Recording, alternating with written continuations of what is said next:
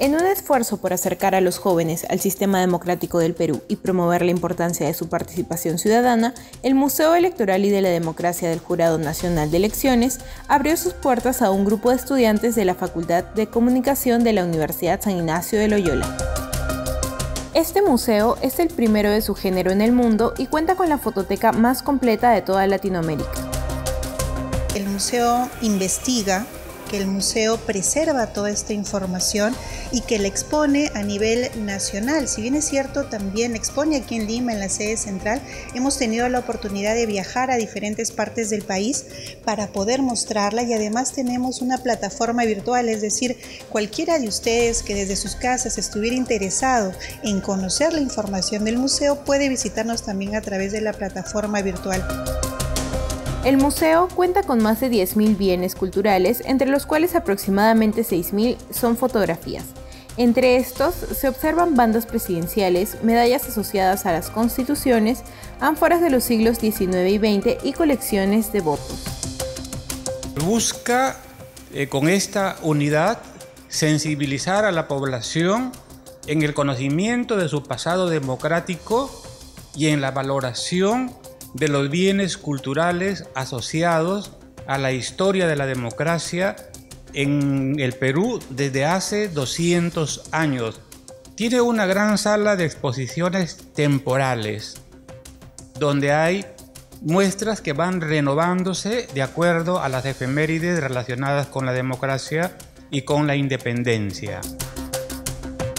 Muchas de las piezas exhibidas son parte de colecciones que fueron donadas por los descendientes de protagonistas de la historia de la democracia como Matilde Pérez Palacio, Luciano Castillo Colona, Augusto Bernardino Leguía, Guillermo Billinghurst, entre otros.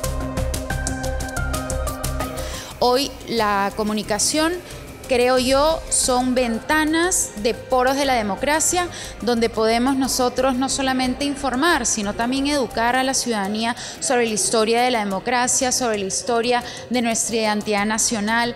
Creo que es muy importante volver a recuperar el sentimiento patriótico del año del Bicentenario y conocer a tantos eh, personajes que han contribuido también a la historia de nuestro país. Durante la visita, los alumnos del curso Historia de la Comunicación tuvieron la oportunidad de sumergirse en la historia electoral del Perú y comprender el rol crucial que desempeña el Jurado Nacional de Elecciones en la consolidación de la democracia. Vinimos eh, sobre el curso de Historia de la Comunicación. Eh, lo que tenemos que hacer es un trabajo sobre un artículo en donde tenemos que reforzar eh, el aprendizaje cultural y electoral de las personas, ¿no? con el fin de eh, dar un voto informado y que la gente pueda eh, ser consciente sobre las decisiones que toman para el país.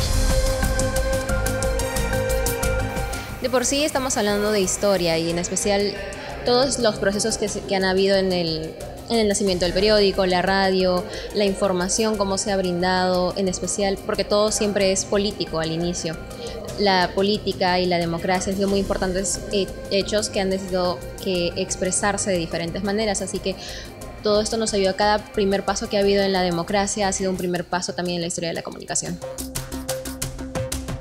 A través de sus exposiciones, el Museo Electoral y de la Democracia nos invita a reflexionar sobre la participación ciudadana y el poder de los votos. Si estás interesado en visitarlo, puedes acercarte a la avenida Nicolás de Pierola 1070 de lunes a viernes de 10 a.m. a 4 p.m. Con cámara de María José Villavicencio y Estefanía de los Santos, informó María Fernanda Cruz para USIL TV.